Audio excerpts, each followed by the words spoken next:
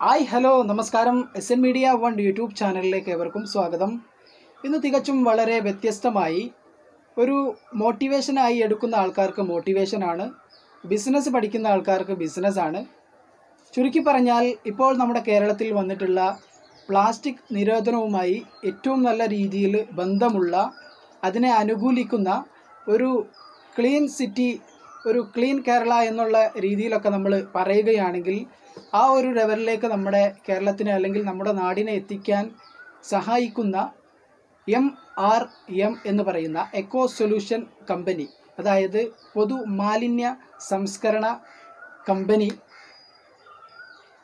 Base ചെയ്ത് പ്രവർത്തിക്കുന്ന Calicut base ചെയ്ത് പ്രവർത്തിക്കുന്ന രണ്ടാൾക്കാരാണ് ഇതിന്റെ ആ, ഡയറക്ടർമാരും അതുപോലെ തന്നെ ഇതിന്റെ എല്ലാം എല്ലാമായ രണ്ടാൾക്കാരാണ് ഇന്ന് നമ്മുടെ കൂടെ ഉള്ളത് അവരുമായി ഞാൻ പറഞ്ഞതുപോലെ ഒരു മോട്ടിവേഷനാണ് ബിസിനസ്സാണ് അപ്പോൾ ഈ ഒരു ബിസിനസ്സിലേക്ക് അവർ കടന്നു വന്നതും അവർക്ക് ഈ ഒരു ബിസിനസ്സിൽ വന്ന വിജയവും ഈ ഒരു ബിസിനസ്സിലേക്ക് വന്ന സമയത്ത് അവർക്ക് അനുഭവപ്പെട്ട പ്ലസ് പോയിന്റുകളും മൈനസ് പോയിന്റുകളും അങ്ങനെയുള്ള കുറച്ച് കാര്യങ്ങളാണ് നമ്മൾ ഇന്ന് ഈ ഒരു വീഡിയോയിലൂടെ ഇവിടെ പങ്കുവെക്കുന്നത്. അപ്പോൾ നമുക്ക് പരിചയപ്പെടാം. വെൽക്കം ഷാഹിദ് ആൻഡ് നസീർ എന്റെ പേര് സൈഫർ ഖാൻ.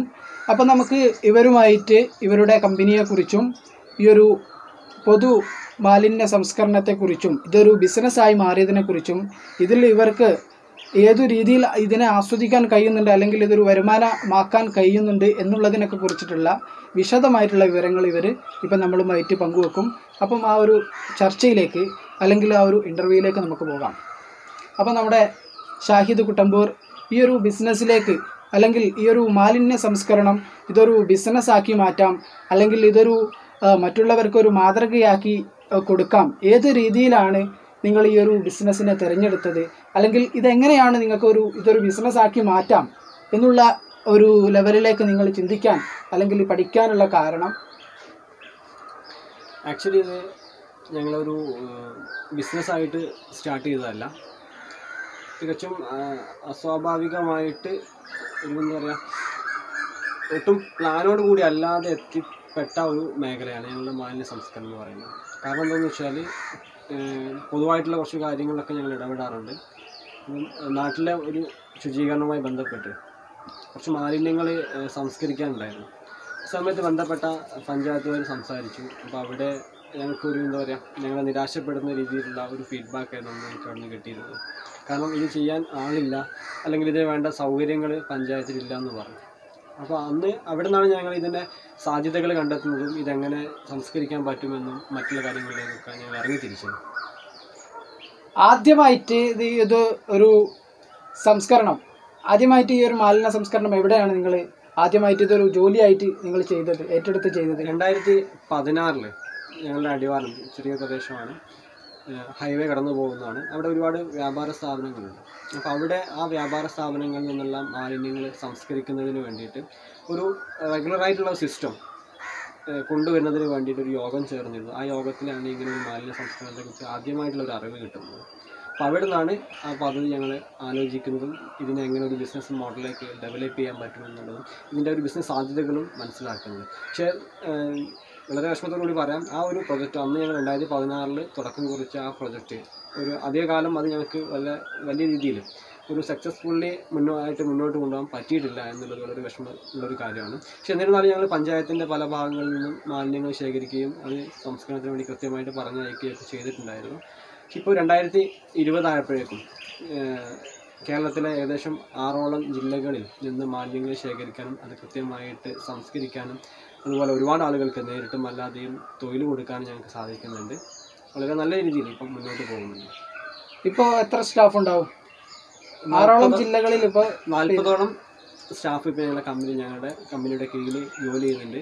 മുപ്പതോളം അൺസ്കിൽഡ് ലേബേഴ്സും പത്ത് സ്കിൽഡ് ലേബേഴ്സുമാണ് ഇപ്പോൾ ഞങ്ങളുടെ കൂടെ ജോലി ചെയ്യുന്നത്. ഇപ്പോൾ മെയിനായിട്ട് ഇപ്പോൾ ഇതിൽ നല്ല രീതിയിലുള്ള ഒരു വരുമാനം?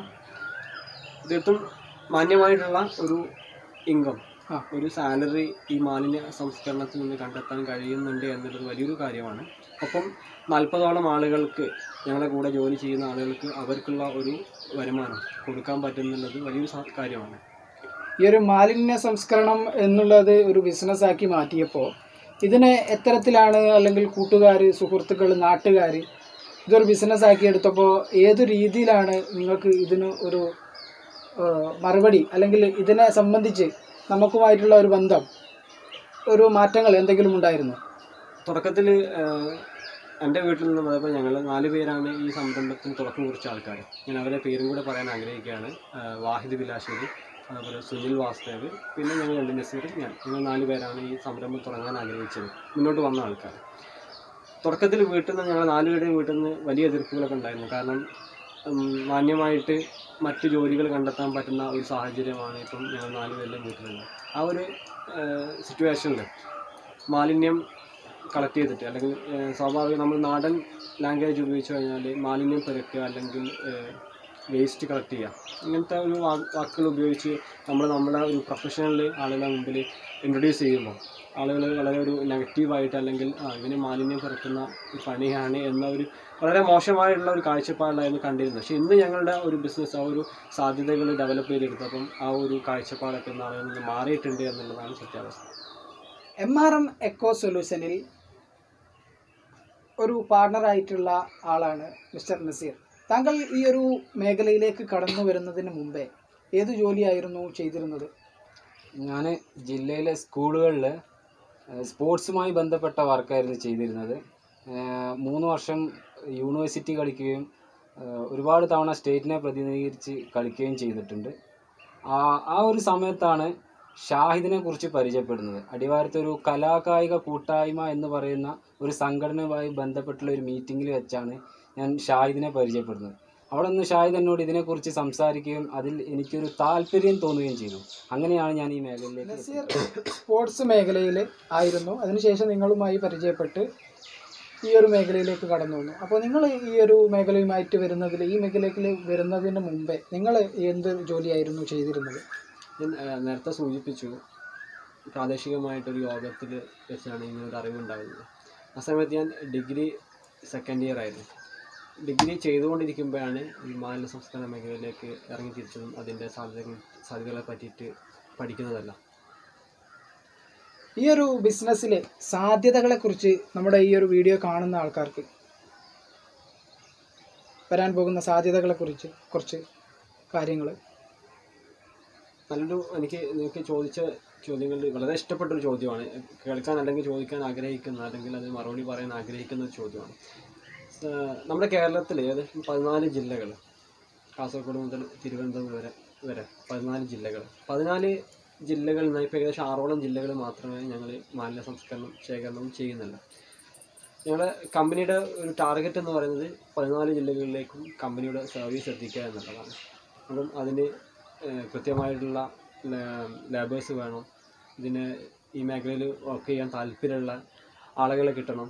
ഇതിന്റെ ഒരു കമ്മ്യൂണിക്കേഷൻ ഒരു കമ്മ്യൂണിറ്റി കമ്മ്യൂണിക്കേഷൻ ചെയ്യാനുള്ള ആളുകളെ കണ്ടെത്തണം. ഇങ്ങനെ ഒരുപാട് സാധ്യതകൾ.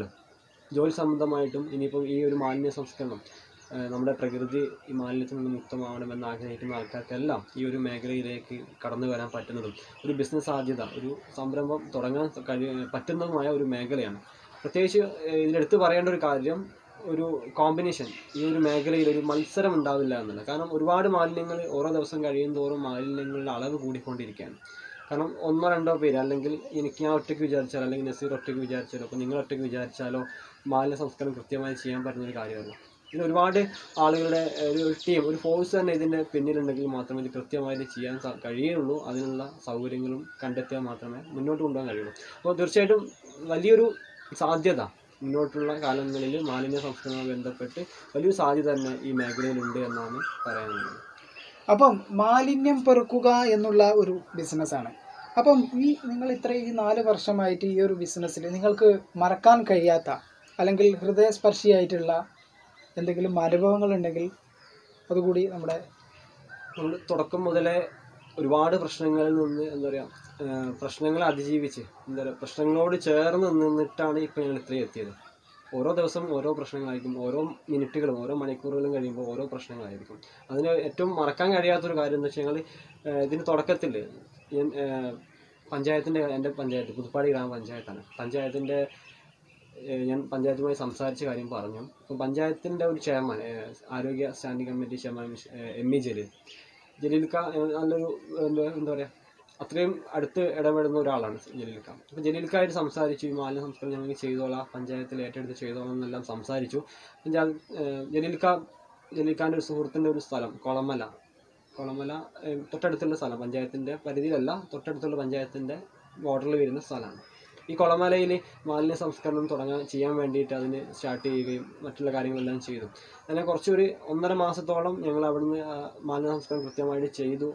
അത് കഴിഞ്ഞ ശേഷം അവിടുന്ന് കുറച്ച് ആളുകൾ അവിടുത്തെ പ്രാദേശികമായിട്ട് താമസിക്കുന്ന കുറച്ച് ആളുകൾ ഇതൊരു വലിയൊരു ഡംപിങ് സൈറ്റാണ് അല്ലെങ്കിൽ ഇതുകൊണ്ട് സമൂഹത്തിന് അല്ലെങ്കിൽ അവിടെ ജീവിക്കുന്ന ആളുകൾക്കും വലിയൊരു ബുദ്ധിമുട്ടുണ്ടാകും എന്ന് പറഞ്ഞിട്ട് അവിടെ ഞങ്ങളെ മാറ്റിയ ഒരു അവസ്ഥ ഉണ്ടായിരുന്നു. അപ്പോഴൊക്കെ വളരെ ഒരു മാനസിക പ്രയാസം ഉണ്ടായിരുന്നു ഞങ്ങൾക്ക്.